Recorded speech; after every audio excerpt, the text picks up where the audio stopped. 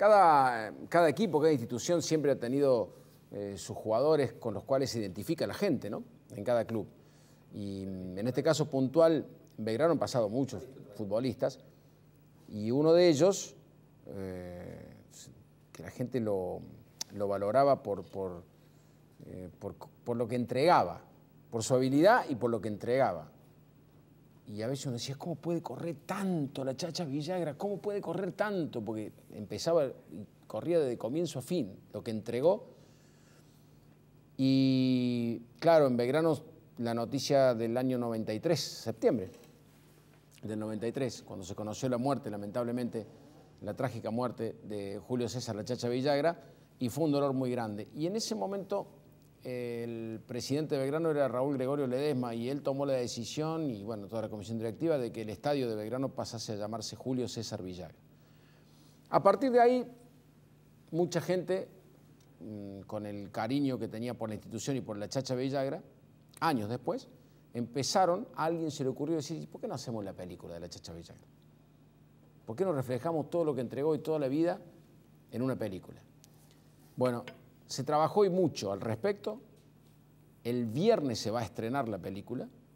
Ya le vamos a contar más detalles a partir de este momento, pero queríamos simplemente meterlos en lo que viene, que es justamente después de tanto esfuerzo y trabajo, llegar a terminarla y mostrarla y presentarla el viernes. Esto es un anticipo. Este es el maestro y la humildad del, barrio, de Córdoba. Este es un profesional. Este juega por la camiseta. Qué bien, chacha, loco, ¿no?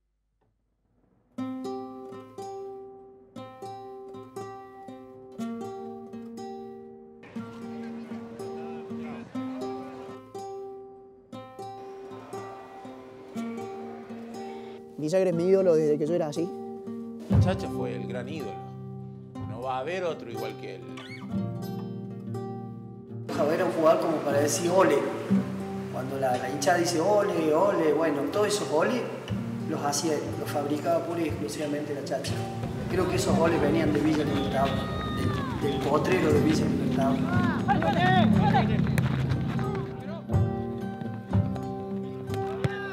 Chacha era un habilidoso, era un jugador creativo, veloz mentalmente y físicamente. Y tenía, como quien dice, la sexta velocidad. Era un jugador que ponía la sexta y no lo agarraba más. Un jugador que no puede estar afuera de él y 10 más, como dicen ahora los técnicos. Golazo espectacular de la Chacha Villagra, gana Belgrano y promueve todo, pero todo el aliento de su público. Su obligación era jugar todos los domingos bien y que la gente se fuera contenta en la casa. Todos los domingos era el partido. Él decía, yo me pongo la camiseta y me tengo que matar. Pero se, fue re triste. Lo peor que le pasó en la vida le sacaron la camiseta de Belgrano. Y es lo peor que le pudo pasar. Cuando uno se muere se olvida todo. Dios debe tener un equipo, un equipo de fútbol, el mejor equipo del mundo. Y debe estar jugando ahí él, de número 10. La vida es ingrata, no, no, nos, nos deja nos olvida y creo que él no, no lo vamos a olvidar nunca.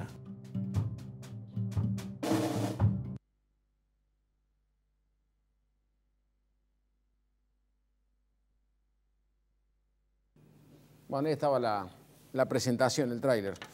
Eh, Juan del Campillo nos acompaña. Hola, Juan. Hola, ¿qué tal? ¿Cómo estás? Gracias por aceptar la, la, invitación. No, gracias por invitarme. Bueno, ¿cómo se te dio por hacer esto? Y se nos dio a un grupo que, bueno, les estaba contando recién que está constituido por Pablo Iván Rodríguez, por Iván Amaritano, por Iván Ferreira, por Nico Huede y ahora por Juan Bianchini. Somos todo un grupo de hinchas que hace unos años, eh, todos, siempre que charlábamos de Belgrano, las charlas terminaban en, La Chacha, que era el, ídolo de, todos. De, todos lo habíamos visto jugar de chico y... Claro, porque usted era muy chico. Éramos muy chicos, yo tenía 7, 8 años cuando lo empecé a ver y bueno, pero fue una década, una década hermosa de Belgrano, una, década romántica, con Belgrano jugando acá en la Liga Córdoba, y después la otra mitad de la década jugando en el Nacional B. Y la Chacha integrando todos sus planteles. Eh, una vez vimos también un montón de formaciones, y en todas las formaciones estaba la Chacha en una década entera. Claro. Y, que llegara justo el premio a su trayectoria, que fuera el, el ascenso en el 91, y que él pudiera jugar solamente un solo partido y que se le diera el pase libre en una supuesta, se, se le daba como una especie de premio, que era un pase libre que, que no era un premio para nada. Entonces, bueno, eh, Eso quisimos... como dice Hugo en la... al que, Sí. al que veíamos uno de los, de los testimonios era de Hugo, a quien yo conocí mucho, tanto como la Chacha, porque iban juntos siempre a la cancha. Sí. Hugo estaba siempre. Lo acompañaba siempre. Y, mm, eh, y él decía que eso fue, de- dentro de, de todo lo que sufrió y los dolores que tuvo la, la chacha, fue ese uno, ¿no? Sí. La- Dejar Belgrano. exacto. Eh, así que bueno, quisimos recuperar a la figura de él. Eh, sabíamos que eh, una vez que había muerto, el presidente de ese momento eh, había como sugerido que el estadio se llamara Julio César Villagra, pero nunca se había hecho oficial y no existía ningún cartel ni nada que, que, lo, que lo asegurara. No me, Así- no me equivoco en el dato, era Ledesma el presidente, ¿verdad? Ledesma el Sí, presidente, sí. claro. Eh, entonces, bueno, intentamos, una de las primeras cosas que intentamos era que el estadio realmente tuviera un, un cartel que dijera que era el estadio Julio César Villagra. Claro. Algunos comunicadores también ya empezaron a nombrarlo así, eh, cuando decían, se dejó de decir el gigante de Alberdi nada más, y se empezó a decir que Belgrano jugaba en el Julio César Villagra. Se puso el cartel y bueno, también, eh, entre otras cosas de las que se contactó con la familia, le- les contamos de la idea que teníamos, que queríamos rescatar su figura, queríamos empezar a buscar material y que un montón de, de gente y de, y de pibes, sobre todo, que no lo habían visto jugar, que supieran quién era el que le daba el nombre al estadio donde juega Belgrano. Claro. Y ahí, bueno, empezamos, viste, toda una recopilación de, de material que no era fácil conseguir imágenes de archivo de la década del 80 donde eh, Villagra estuviera jugando en Belgrano. Era muy difícil. Así que bueno, tuvimos que mover, conseguimos también un montón de fotos, fuimos a hablar con la madre, con toda la familia, nos recibieron en Villa Libertador. Aparece en un momento una, una señora de, de- de- de pelo totalmente Sí. blanco, que es Berta, que lamentablemente ha muerto también. Lamentablemente murió hace muy poquito, hace unos meses. Y nosotros, bueno, la- la- a, la, a la película la arrancamos con todo esto hace un montón de años. ¿Y, Y pero ¿de dónde- y quién, quién costaba todo? Los no, fue eh, hecha pulmón por, por hinchas. En un momento cuando conseguimos eh, imágenes de su velorio, que eran seis minutos, eh, me acuerdo hace unos cuatro o cinco años, eran más de seis mil pesos. Era un montón de plata. Hicimos una rifa para conseguir esa- esos seis minutos de video con eh, algunas jugadas de él y imágenes de su velorio. Y, y después, bueno, ahora cuando la teníamos que terminar, Ahí está la foto de la mamá atrás. ahí está, Ahí está Berta. Esa es la mamá de la chacha. Berta. Y cuando le teníamos que terminar, eh, teníamos, necesitamos plata como para equilibrar los colores y los sonidos. Y era una plata que así nosotros no podíamos juntar como hinchas. Entonces decidimos hacer, viste, esos cofinanciación. Entonces la gente nos ayudó y pudimos juntar esos treinta y pico mil pesos que nos faltaban para terminar la película, porque bueno, nos dimos cuenta que lamentablemente justo en ese momento murió Berta y no va a poder ver la película de su hijo, pero bueno, Claro. queda el resto de la familia, queda Claro, Hugo, el hermano, y quedan todos los vecinos también que nos abrieron las puertas y nos contaron un montón, de montón de cosas. anécdotas. ¿El club se involucró de lleno y los ayudó? No, nosotros cuando... eh, yo pertenezco al, al área de cultura de Belgrano. Y Pablo Iván está en el área de comunicación, Ivana Maritano es, es la Sí. fotógrafa. Pero cuando arrancamos en el 2013 todo este proyecto, ninguno de, lo- de- de los que ahora estamos Eh, colaborando estábamos en el club. Claro. Entonces la arrancamos nosotros solos y la terminamos solos. Intentamos no involucrarlo al club para que sea algo hecho por hinchas. Y no hay nadie, no hay ningún especialista en cine que, que se haya involucrado, sino que es, es hecho por hinchas. Para, para, para que me pongo la formación. Lo de arriba, no ve- puede- ¿el segundo puede ser Comelles? Sí, Comelles. Pablo Comelles. eh, no, no, no Delgado, bueno, Chaparro. Chaparro, el Diego. Delgado, Chaparro, Leiva y, y la Chacha. chacha. Y me falta lo de arriba. ¿Quién será el grandote de arriba? El que está al lado de Pablito Comelles no me doy cuenta quién. quién. Me parece que es. ¿No el Peti Vega? No, no, no, no, no, no, no estoy diciendo cualquier cosa. No, eh, no me acuerdo quién es el que está ahí. Pero. ¿Qué año es esto? 84 me parece que es. Porque está, porque está Chaparro. Exacto, exactamente. Sí. Debe ser eh, Sí, cuando comienza el regional, una cosa así. Que el no, regional antes, de- antes. antes, antes, porque el Eh, regional es después de- 85. claro, después del Nacional viene Chaparro y está un año jugando en la Liga Cordobesa y cuando Belgrano clasifica el Nacional del 85, Chaparro y Delgado se van. Está bien. No, me parece que la Pepa jugó en ese nacional del 84. En, ese, en, ese- En el del 84 sí, pero Me- fue anterior a esta, esta anterior, foto. claro, porque la anterior. chacha ese Nacional se va a estudiante de Río Cuarto con Ramón. Exacto, con o sea, Ariel la Pepa Ramón. no llega a ser compañero Con de la Ariel chacha. Ramón, claro, exactamente, con Ariel Ramón. Claro, ahí se van. Eh, bueno, y, y la película, a ver, el, el que vaya a ver, ¿con qué se va a encontrar? ¿Con testimonios? ¿Con, Claro. con- con, eh, ¿qué- qué- ¿Cuánto dura el, el- el film? más o Eh, menos? dura un poquito más de una hora. Perfecto. Eh, toda imagen de archivo que hemos podido encontrar la hemos metido para ¿Hay que... testimonio de la chacha? ¿Hay de- ¿En algún momento algún reportaje, alguna cosa? Que No, eh, hay algún reportaje en un vestuario. Sí. Él era muy tímido. ¿Sí? Muy, muy Me tímido. va a decir a Bueno, mí. vos de- de- lo debes haber tratado mucho. Mucho. Era muy tímido, era muy difícil sacarle palabras. Hay, una, hay un reportaje de él adentro de un vestuario en las épocas que se podían hacer. Sí, entramos en el vestuario en esa época. Que está como con una especie de yeso en la mano, pero era difícil sacarle una palabra.